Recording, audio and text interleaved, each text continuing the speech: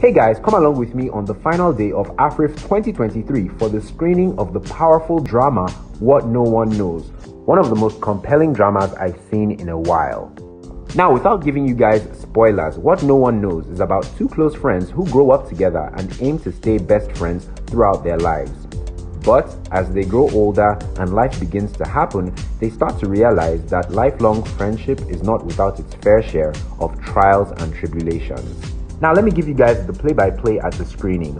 Once we got there, we got tagged. I saw some familiar faces. That's Damilola Ogunsi, who plays the father of Ife, played by Adunni Ade. The mighty Tina Mba plays her mom.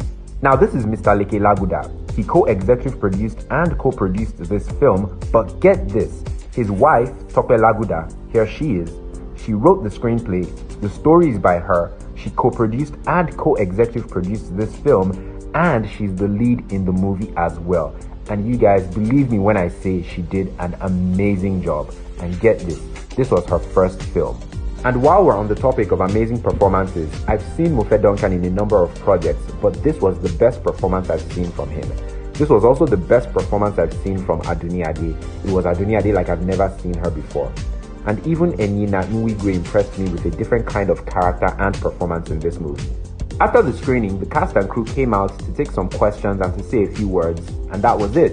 This movie, What No One Knows, will be out in 2024, but I'm telling you to make a mental note of it right now because you won't want to miss this film once it comes out. Trust me. Now, if you want me to do a review of the film when it comes out, just type the words review it in the comment section and also share this video on your Insta stories or with anyone.